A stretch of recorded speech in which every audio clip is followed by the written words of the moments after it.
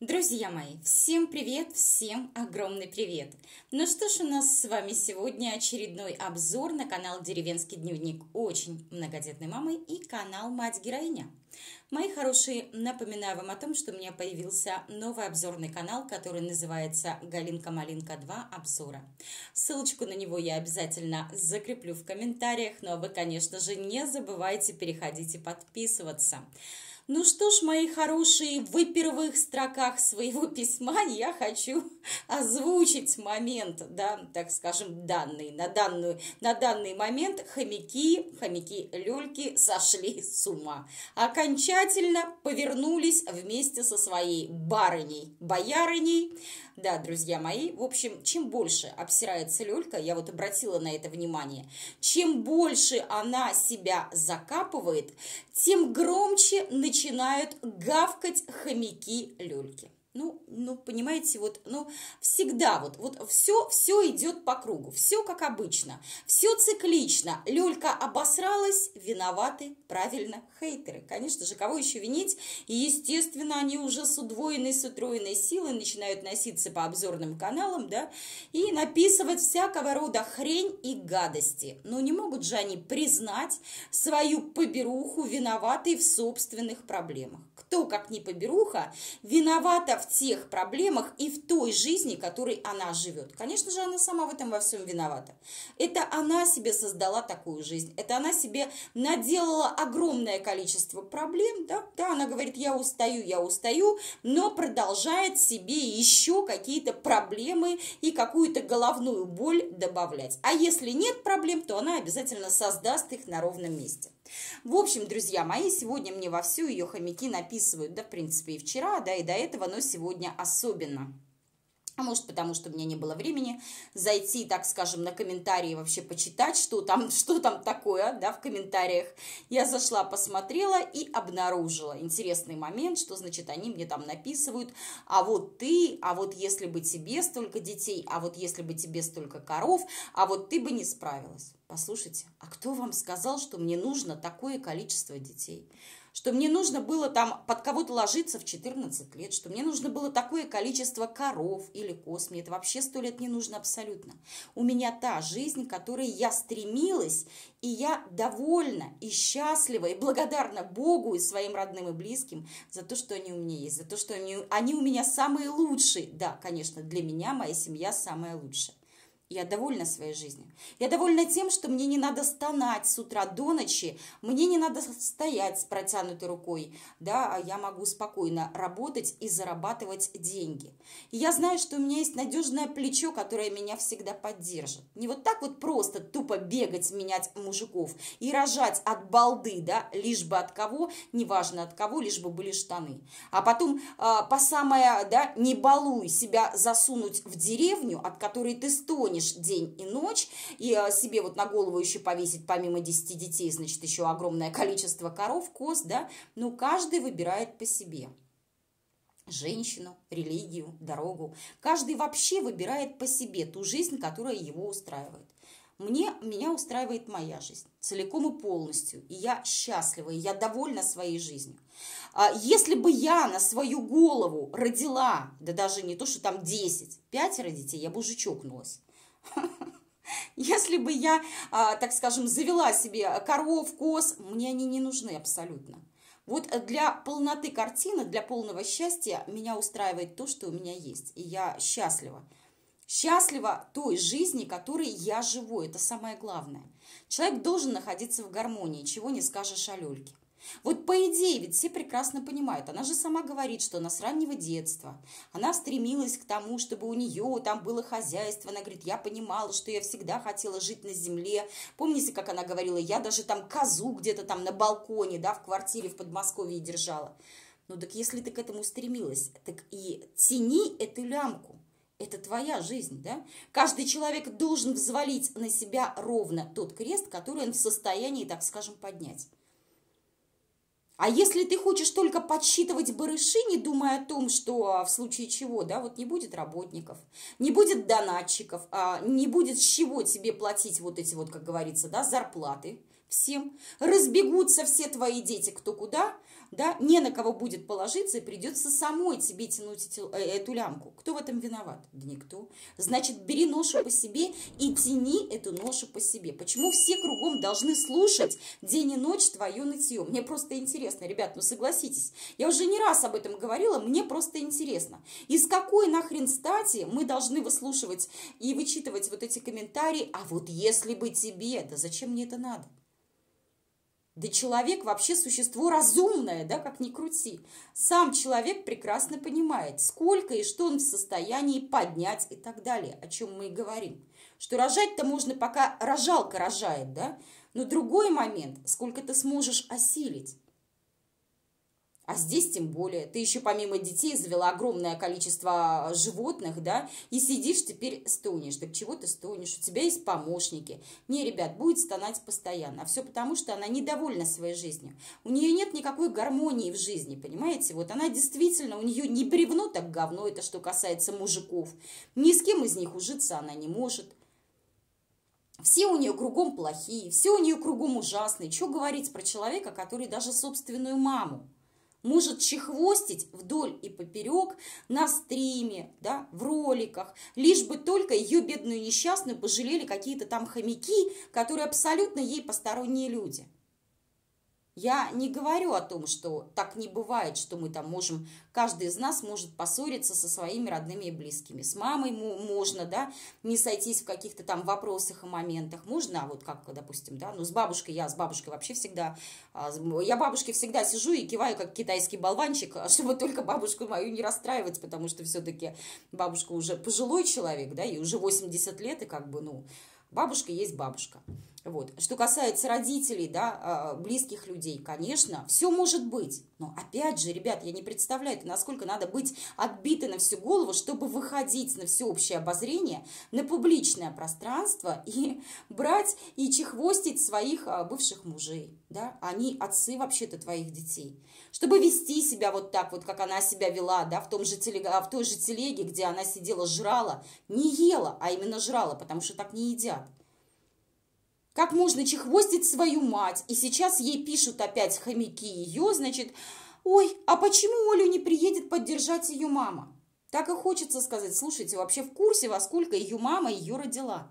Ее мама родила там в 39 или в 38, почти в 40 лет.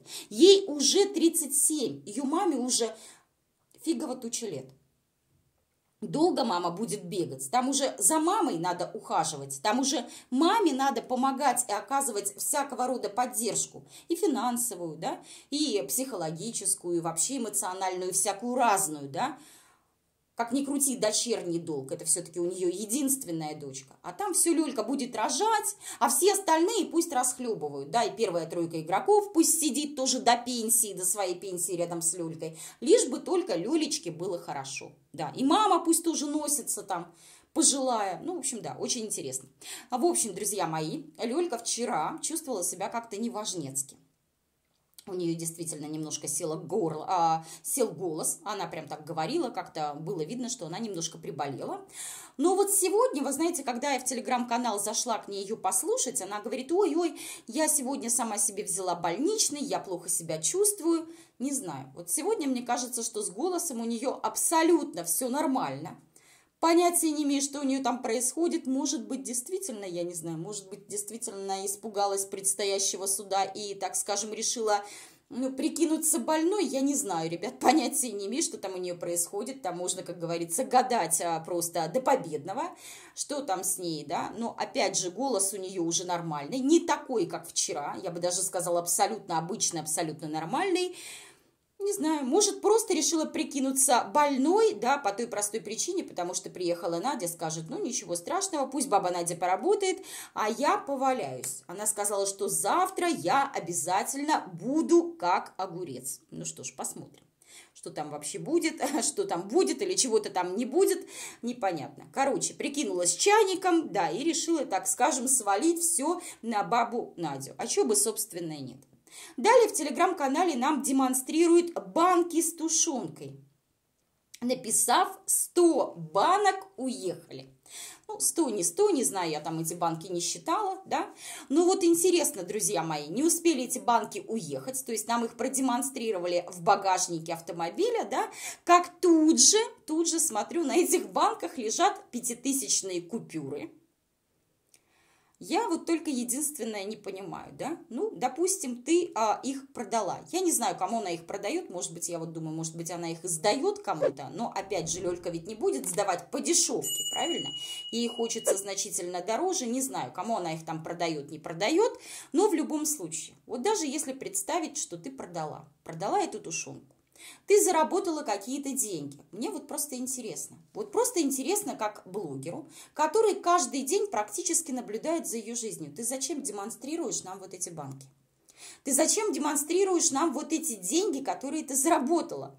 Все бы ничего, да, я бы даже слова не сказала, если бы не одно большое «но». Мы же знаем прекрасно, что она при всем при этом, да, то есть с одной стороны она написывает, что вот, да я заработала, да за один день многодетная мать без мужа заработала 50 тысяч рублей, да, тут же демонстрирует, значит, вот эти вот пятитысячные купюры, ну, может быть, пытается кого-то этими деньгами удивить, Люлька, ты нас не удивишь. Мы тоже все работаем, мы тоже все зарабатываем. И при всем при этом, заметь, э, даже не клянчим и даже не просим.